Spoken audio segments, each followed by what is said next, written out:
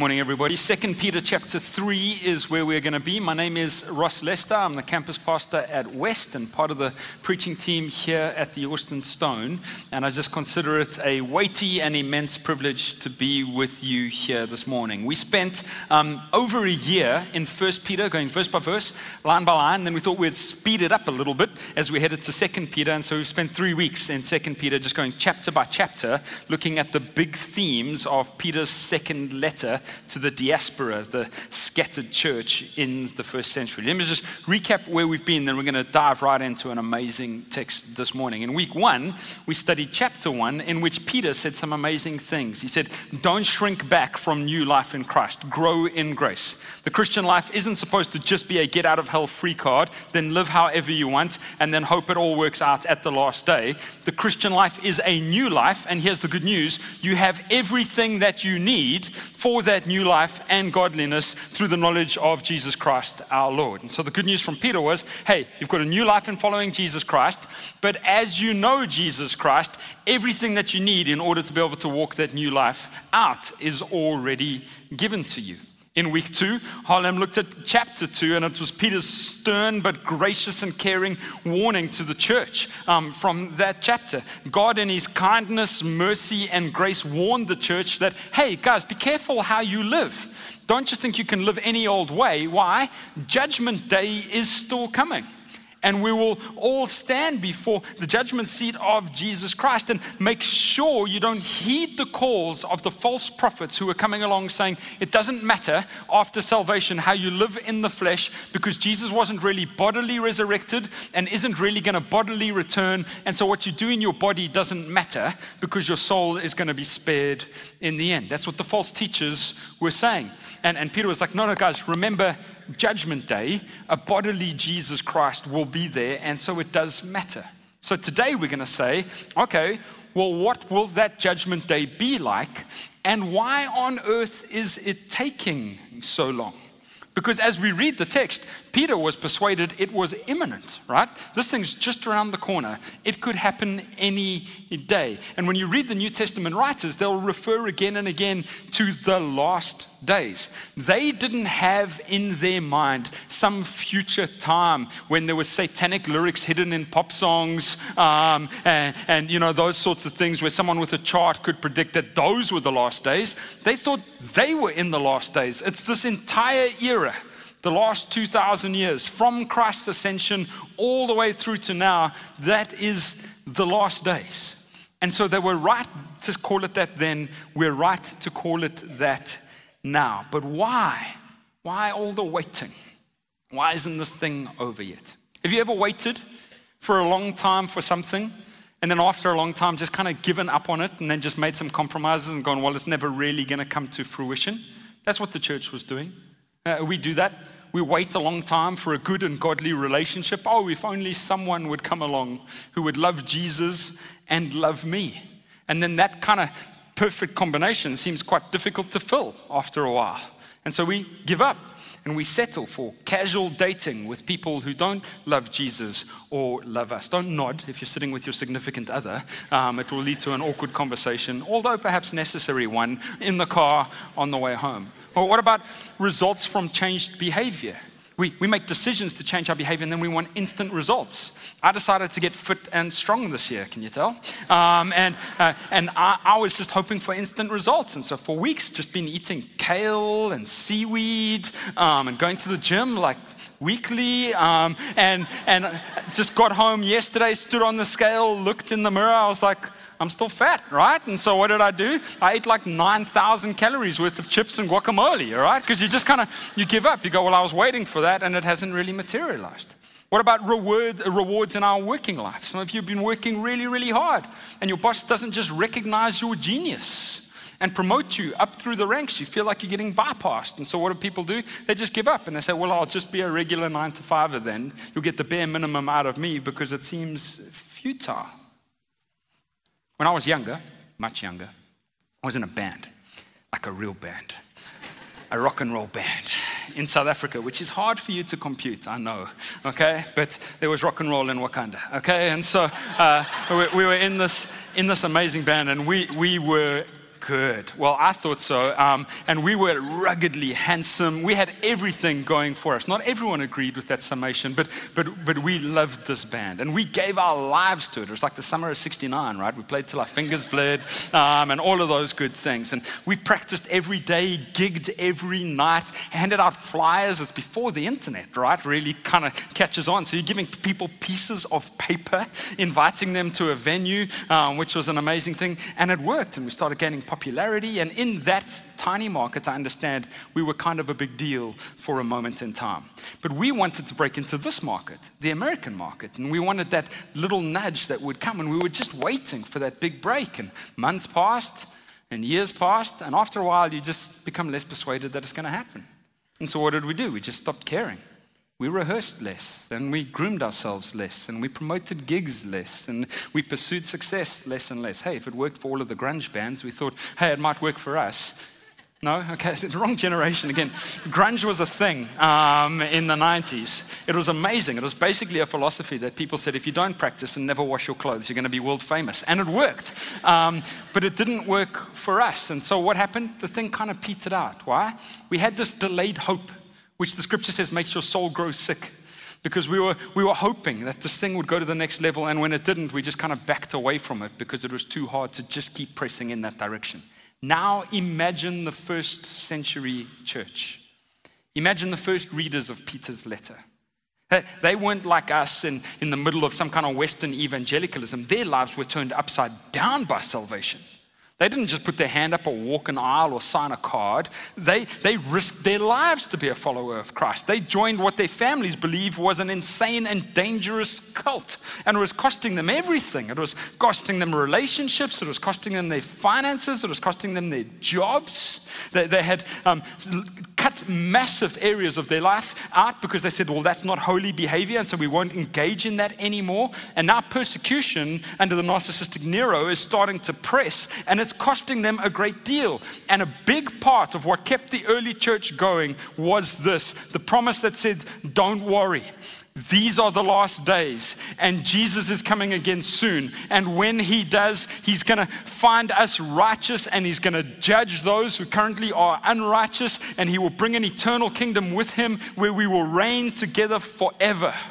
And they were like, oh, okay, oh, that sounds, whew, that sounds good.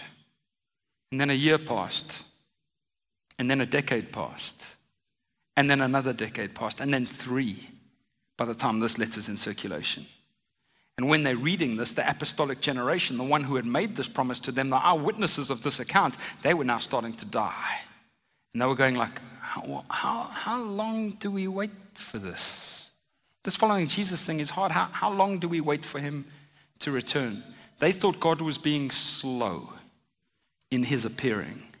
And in the middle of that slowness, Peter writes, and in so doing, he's going to teach us what to do with the slowness of God in, re- in the return of his son, even today. You guys okay? Everyone ready? Let's go. Verse 1. This is now the second, this is Peter writing, this is now the second letter I'm writing to you, beloved.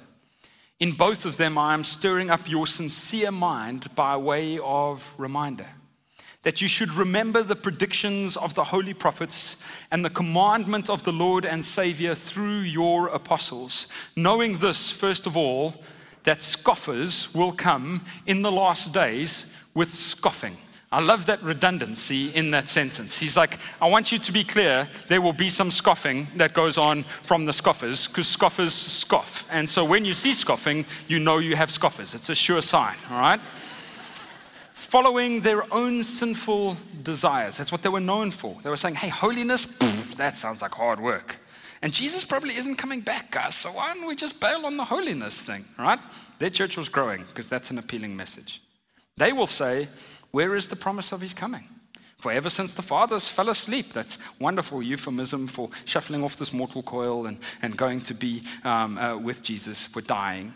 All things are continuing as they were from the beginning of creation. Now, Peter's saying, hey, there's some dangerous people in the church, and they believe some stuff, and they've given into faithlessness. And so the first observation is this God's slowness is not an excuse for our faithlessness. His slowness in, in delaying the return of his son is not an excuse for us to grow in faithlessness like these people were. Now, Peter is referring to a literal, historic Christian belief that is central that Jesus will actually physically and bodily return to the earth. Now, stop for a sec. I just want to disarm us a little bit. Christians believe some crazy stuff. Crazy stuff. And I'm not even talking about philosophical stuff, I'm talking about historical stuff. We, we believe that Jesus really came to the earth, that he was really born from a virgin, that he really lived, that he really performed miracles, that he really died and it was really in our place, and that he really rose from the dead, that he really appeared to hundreds of eyewitnesses, and that he really ascended to heaven, and that he really promised to be right back. We believe those things, not in a metaphorical, allegorical way. These are literal claims that we hang our hat on. And so to be a follower of Christ is to believe these things, first and foremost. Look at Acts 1, because this promise is part of it. Acts 1, verse 9. And when he had said these things, this is the resurrected Christ. And just by the way, go read Matthew 28. Not everyone believes in the resurrected Christ. If you're someone going, I just need a sign, they had a dead guy come alive, and some of them are like, nah, I don't know. I don't know. Seriously, it says some of them doubted. They're like, yeah, I don't think so. Uh, I've seen, I've seen David Blaine do some similar things, and uh, I'm just not sure, right? So we're going to need to have faith. But now here he is, and he's been with them, and he's eaten with them. It's been marvelous. And when he had said these things, as they were looking on, he was lifted up, and a cloud took them out of their, uh, out of their sight, uh, him out of their sight. I, I like to just kind of picture what this was like. Did he like raise a leg, or like like, I don't know, but it must have been awesome. And he starts to lift off of the ground, and this cloud surrounds him, and he's gone. And while they were gazing into heaven as he went, behold, two men stood by them in white robes. Now, the day's been weird already. It's just, it's getting weirder still. And they said, Men of Galilee, why do you stand looking into heaven? They're like, well, Where do we begin? Right? It's been a strange day. This Jesus who was taken up from you into heaven will come in the same way as you saw him go into heaven. And so then they waited because it was promised. I imagine some of them waited on the spot for quite a long time. They were like, He's coming back. They were like, Excellent. All right. What time you got there? It's daylight saving, so I'm not. Uh, I get confused. This whole thing is going to ruin the world. Why do we do this? I don't know. All right. They stood there waiting, watching the sky. And then eventually, like, you know, Larry was like, I gotta go work. Uh, and they're like, no, that's fair, all right? And off he goes. And eventually they disband, hours pass, and then days pass, and then months pass. And for the first while, every time a bird flies overhead, they're like, he's here, all right? But then after a while, they stop looking at the sky and they stop living with that urgency and that intensity of the fact that Christ would be right back. But Peter is saying to this church, guys, I saw it with my own eyes. You're questioning my integrity, my eyewitness account. He said he was coming back, and we believe he is coming back soon. And so he says, Don't be alarmed by the scoffers. They were always going to come. They were always going to rise up. I saw this with my own eyes. They're going to try to draw you to faithlessness. What does their faithlessness look like? Mockery, lawless living, and seeing the observable natural order as the ultimate reality. Let's look at these three, three things quickly. We're going to find we're like the scoffers in some ways. The first is they did scoffing, right? Because they were scoffers. And so they were mocking and belittling those of the faith. It isn't just doubt, it's active opposition meant to cause shame. They were mocking Christians who were making sacrifice in their life, living with holiness, storing up treasures in heaven. And in some sense, friends, listen, there is logic to that mockery. Because if Jesus isn't coming again, there is very little motivation to follow his commandments. And let's be honest, his commandments are countercultural, counterintuitive, and uh, counterintuitive and difficult to follow. Part of what drives us to following them is he's coming back. He's coming back. He's alive. Even to this day, he's coming back. Even Paul says to the church in Corinth, guys, if he didn't rise from the dead, we're the dumbest group of people anywhere in the city today. We should be breaking all 10 commandments at South by Southwest right now. right now. But he's alive. So we're not. We're not. We're not. All right? We're not. Why? He's alive and he's coming back. I mean, Why else would we follow these instructions? Jesus goes, Hey, be pious, be pure in a generation that's defiled. Why would I do that? Or forgive others. Well, how much? A lot. Oh, I don't want to, but he's alive. If someone slaps you, let them do it again. What? why would I do that? He's alive. He's coming back. Don't even consider sexual immorality, but I want to. In fact, draw the line of adultery so far behind you that it goes all the way to a lustful glance. Oh, goodness, really? Why would I draw it there? Because he's alive and he's coming back. Give to everyone who asks of you. Well, what if they don't deserve it? Doesn't matter. I'm alive and I'm returning. Friends, not many of you will be active scoffers on this issue. Maybe some of you are. Maybe you're sitting here this morning, you got, you got dragged here, some kind of weird blind date gone wrong, right? And you're like, gosh, she is gorgeous, but I'm starting to wonder if this is worth it, all right? But hang with me. And you don't believe at all that Jesus is returning and you find the whole idea ridiculous. I'm hoping, I'm really glad you're here, by the way, and I'm hoping and praying um, that Jesus changes your mind. But many of us would say here today, oh no, I believe that. I, I believe that. But truth be told, we actually live like the scoffers. We actually live um, in a way as if we don't believe it. We need to hear from Peter that we shouldn't be backing away from radical obedience to Jesus Christ in the face of scoffers. He promises they will come. Many of us aren't really living in the way of Jesus because we know it will invite mockery from people who don't anticipate his return, and mockery is the one thing we cannot stand. Secondly, they gave in to lawless living. They were known for licentiousness, for sexual immorality, for rejection of authority. Well, why? Well, I was reminded this week of something that Dostoevsky said in The Brothers Karamazov. Now, that makes me sound smarter than I am, so let me just, I've got to keep a clear conscience while I preach, all right? I wasn't sitting in a leather chair this week smoking a pipe reading Dostoevsky. John Dansby, our North Campus pastor, no, our St. John campus pastor, sorry, I'm new, all right? so our St. John's campus pastor put a Dostoevsky quote in his sermon notes, and I was like, I'm stealing that, all right?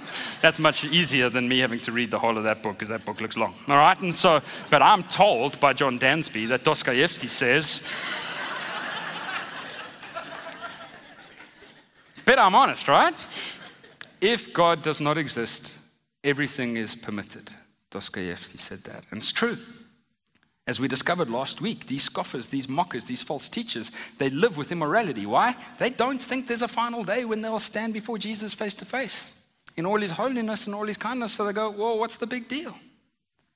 Friends, how many of us are giving in to the lawlessness in these same areas because we aren't waiting well in holiness? At some level, we have stopped considering the return of Christ, or maybe even stopped believing it in it as an imminent reality.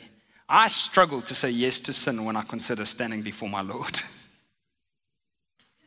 And so to say yes to sin, I have to put that out of my mind and live in faithlessness like the scoffers. Lastly, they had a lack of belief that God can intervene in the natural order. They said, All things are continuing as they were from the beginning of creation. This is actually a very modern and very current argument for rejecting the supernatural bodily return um, of Jesus Christ. Essentially says, Hey, nature is a closed system, and God got the ball rolling to be sure, but it's not open to intervention by an outside body. The sun rises, the sun sets, seasons come, seasons go, science observes observes the patterns, dictates the rules, and those rules cannot be broken. And so, therefore, the celestial bodies cannot be burned up in an instant, the skies cannot be rolled up like a scroll, and a very much dead man cannot return very much alive. You can't intervene in the natural order. Friends, many of us live like this in a functional atheism of sorts. We want the forgiveness of Jesus Christ, but we also believe that God kind of has his hands off of the world and no longer sticks his hands into it. We believe only what we observe. And even if we believe in a God who is over all of it, we don't really think he'll burst into the middle of it. Now, listen, I'm a good theology guy. I love it. I've got lots, to, lots of learning to do in this space. I want to warn us, though. If our good theology doesn't have space, desire, and anticipation that God could and can does and can break into the natural order. If our good theology doesn't have space, desire, and anticipation that God can and does break into the natural order to do something supernatural, then it isn't good theology. And we aren't waiting well. I hope and pray we won't be like the faithless scoffers, going like, nah, God doesn't do that kind of stuff anymore. It's the same yesterday, today, and forever. He does the impossible, He heals the sick, He raises the dead, He rescues the orphan, He provides for our needs. Don't walk out of functional atheism, friends. That is the most joyless way to live. Don't be like the scoffers. All right, verse 5. For they deliberately overlook this fact that the heavens existed long ago and the earth was formed out of water and through water by the word of God, and that by means of these the world that then existed was deluged with water and perished. But by the same word, the heavens and the earth that now exist are stored up for fire, being kept until the day of judgment and destruction of the ungodly. Here's Peter's argument in three steps. At the beginning, there was nothing, then God spoke, and there was something. He creates ex nihilo, and so it's his, and so he can do with it exactly as he pleases. At the time of the great flood, there was wickedness, and he spoke, and there was a flood, and there was judgment, and a purging of the earth. Therefore, if he speaks again, he can roll up the skies like a scroll and burn up up the heavenly bodies. He can do that. It's his prerogative. He will purify the earth again, not through flood, because he promised not to do that, but through fire. It's his. It's his. Verse 8. But do not overlook this one fact, beloved, that with the Lord one day is a thousand, as, as a thousand years, and a thousand years as one day. The Lord is not slow to fulfill his promise, promises, some count slowness but is patient toward you, not wishing that any should perish, but that all should reach repentance. But the day of the Lord will come like a thief. And then the heavens will pass away with a roar, and the heavenly bodies will be burned up and dissolved, and the earth and the works that are done on it will be exposed. Second observation God's slowness is actually God's patience. And so his slowness shouldn't lead us to a lawlessness because his slowness is actually his patience. Now, listen, trying to speak of God in temporary terms is so difficult because he's outside of it. There's the rather complex concept that God's understanding of time must be totally different from ours. Why? He's not bound by it. And so things that feel long to us in comparison to eternity are like a moment to one who exists outside of time and in authority over all time. But I can't just leave you with that and go like, whoa, that was amazing, bro. Foolish, wow, let's eat some kale salad and it'll be cool, you know? How, how can we actually get our heads around this? I think even in our fallenness, God gives us some access to this concept. Have you noticed how the older you get, the faster time seems to go? Okay, don't nod your head if you're 20 something, okay? It, has, it hasn't happened yet. We need you in the world you're smart and we love you, okay? But something happens north of 30. It's just like someone just presses like the double speed thing, all right? And everything just starts to go, and you're like, hey, hey, because you know you're being ushered rapidly, increasingly rapidly towards your death. Um, and so uh, it's, a, it's a weird thing. It goes fast, right? And so uh, this is a bit of what it's like. I had my 20 year high school reunion two years ago. I know, it's alarming. And we went back and we are all trying to be cool, but like we weren't cool then, we aren't cool now. And we walked around the school like courtyard. We had it at the school, which was like so traumatic, right? Like I was just filled with angst the second I, I stepped on the property. Will she like me? Sue's like, We've been married for 10 years. Why do you care? I'm like, I don't know. I don't, do I look all right? She's like, No, you look middle aged. Like, just go and just, just enjoy it. But it felt when I was walking through those halls like I was there yesterday, like I was there the day before. I can remember my moments of existential crisis, right? Walking outside a geography class. It felt like I was just there. And yet I was like, not just there. I was 20 years ago. It's crazy. My son Daniel, he's seven. I feel like he was born yesterday. I'm turning 40 next year. I can clearly remember a time when I could see my abs. It, it feels like yesterday, but I assure you it wasn't, all right? Or the day before that. It's so weird. Now imagine an eternal God who has all of eternity in mind at once and can see it all at once. If a thousand years is like a day to the Lord, then Jesus was here two days ago. What's the big deal? Okay. But why does it feel to us like he's taking so long? Well, Peter tells us because of his patience. That's why. He's patiently gathering in the full number of those appointed to salvation that we're told about in Romans 11:25. That not one that he is called by name will perish, and he is waiting until that number is complete, and he won't return until he has them all. But then he will come, and like a thief. Now, what's that about a thief? You don't expect them, right?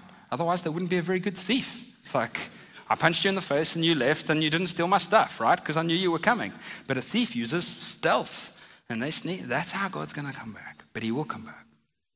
In the meanwhile, he's patiently gathering his elect and building up his church. Friends, this is why God's slowness is really good news to us. There are many days when I'm mad that he hasn't come back yet. But then I think of my kids and my friends who I'm trying to share the gospel with. I think of my family members who don't yet know him. I think of people who I love who haven't yet repented. And I'm thankful for his patience. Jesus saved me in 1986. I'm really glad he didn't come back in 1985. His patience. His patience. Let's be people who thank God for his patience, and then let's be people who know that he'll arrive like a thief. So let's be patient and urgent at the same time. Can we be those two things? Patient with the Lord because He's patient with us, urgent in sharing the gospel and living lives of radical sacrifice back towards Him. All right, verse 11, I'm nearly done.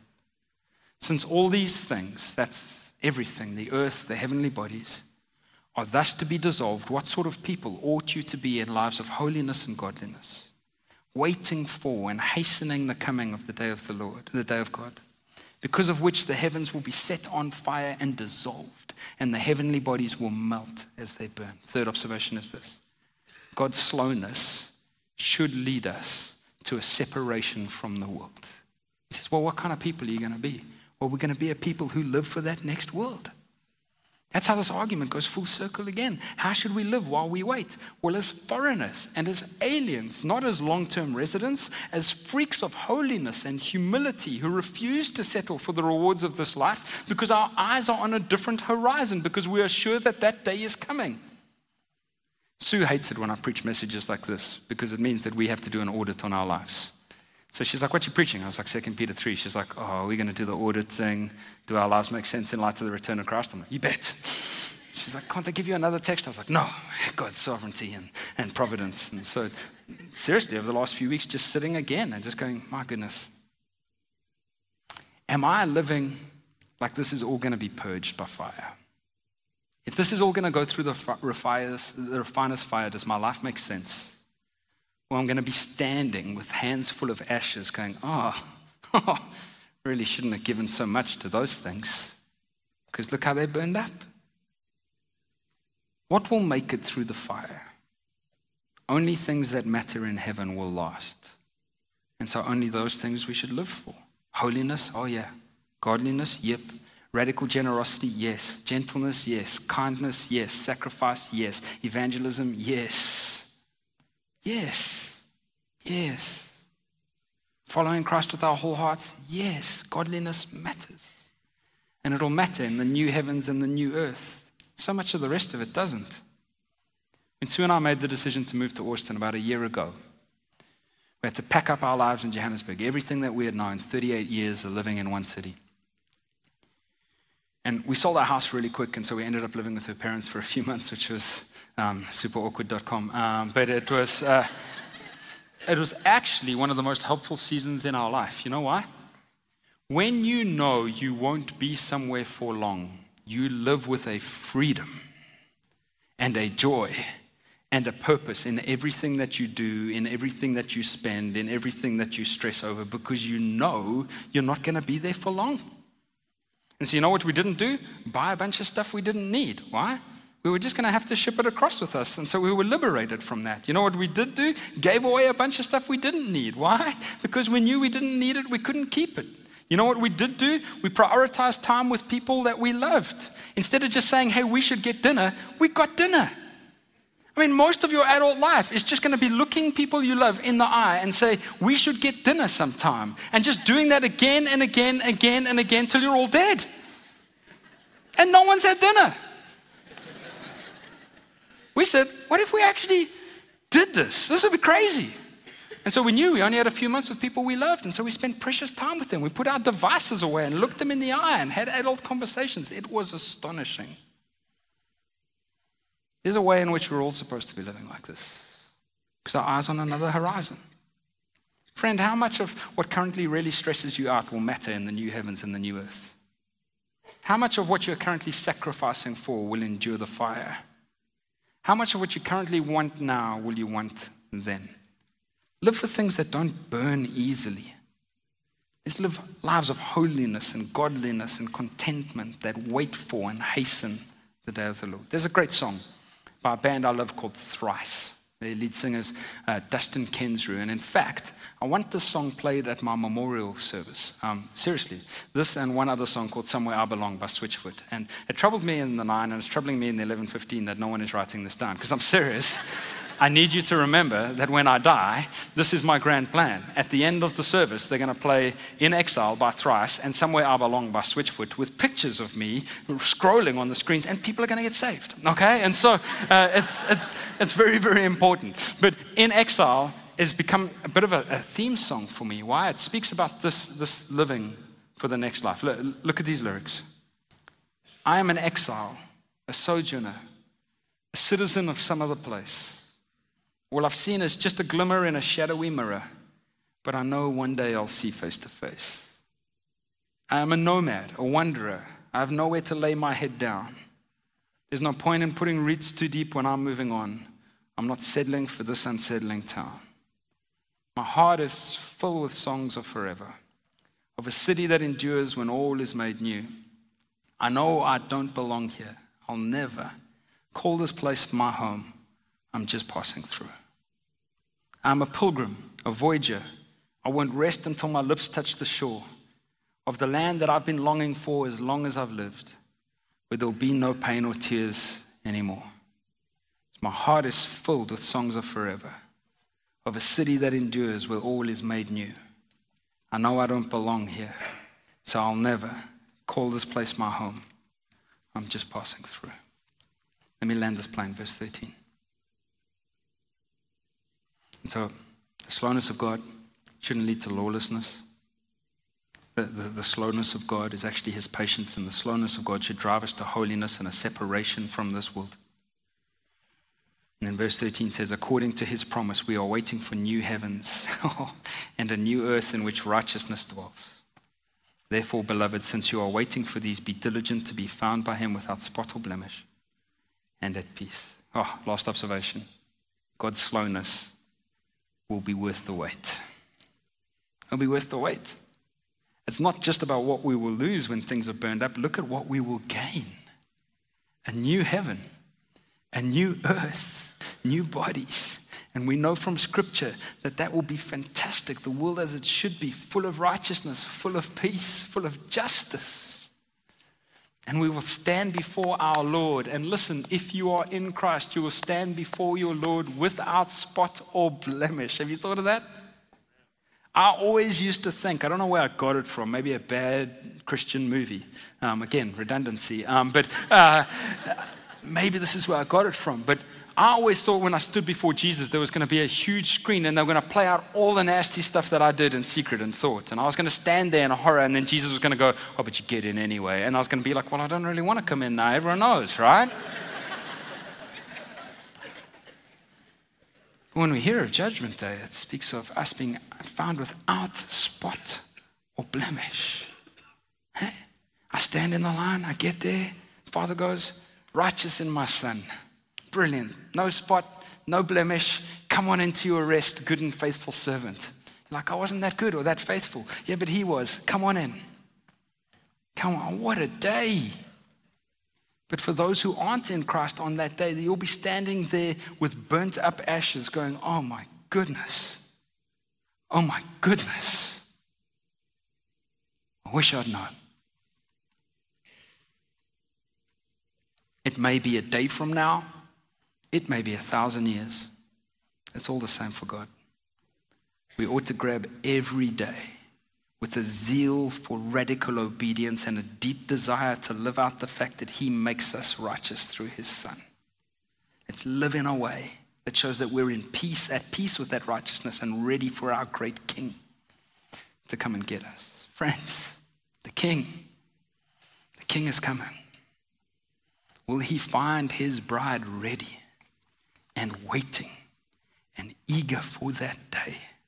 The heavens will be rolled up like a scroll, and the celestial bodies and every material thing we fought for in this world will be purged by fire. And there'll just be Him and an eternity with Him. What a day that will be. Let's live ready. I want to pray. I'm going to invite the band up. Um, and as I pray, I want us this morning actually just to consider, because I think, I think a text like that deserves a response. I think what can happen is we can get so caught up in just Sunday to Sunday to Sunday to Sunday, and we hear the word preached, and the word is powerful, and we go like, yeah, no, that's that's true, and we just kind of tick it off. Then we leave here, and none of it actually takes hold. Sometimes we've got to stop and go like, my goodness, if that is true, then dot dot dot. So I want to pray for you. But ask that question if that's true, then what needs to change? For some of you, you need to come to faith this morning. You've been sitting on the fence. And for some reason, you're just persuaded now this morning that Jesus rose from the dead. That's called salvation. Trust Him. Say, Lord, I, I believe in you. And I believe you're coming back. Help me. Help me. Save me. He will. He will. Some of you have been living a life like the scoffers that Peter wrote to. At some level, assenting to the fact, oh, yes, he'll return, but there'll be another day for repentance. No, today's the day. No, today's the day. Picture yourself without spot or blemish on that great day and live towards that day now. Father God, we come before you. Um, we love you. We're grateful for your word. I want to pray now in this moment um, for those in the room who don't know you. I'm sure they've still got tons of questions, but I think some of them would be feeling just drawn towards you. I pray that you would give them the, the grace and the faith and the wisdom to just press in. Just keep drawing them in, Father. It's, it's your patience. It's why you didn't arrive this morning. It's because you're bringing more people into your kingdom. Bring them in, please, Lord. We trust you with that. Father, for those who are tired this morning, exasperated, frustrated that you haven't come and made it right yet, I pray that you give them patience to live well. this morning, they just get a picture again of, like, oh my goodness, yes, it'll be worth the wait. And so we'll wait. And then, Father, I want to pray for some people who you bring kind of to the end of themselves this morning. They believe in you, um, but they've settled for some sin. And now, in the light of you returning, for that sin looks like folly. I pray that you give them power to repent of that this morning and to turn. And so, Holy Spirit, please have your way now as we sing, as we worship, as we go out into our weeks. Help us to be people who watch the sky, people who refuse to settle for the things of this world. People who cannot wait for our lips to touch that distant shore. And who live permanently with that image in our mind while we wait. Make us patient, Lord. Thanks for your patience. And so, friends, just now, just, just before we sing, I would just say, maybe just take a minute to ask the Holy Spirit to just reveal to you. And God intersects our lives, He redirects our paths. Ask Him, hey, Lord, in light of this, which areas of my life currently don't make sense? Take those to Him. He'll steer you and guide you. And then we sing. We sing certain of that great day.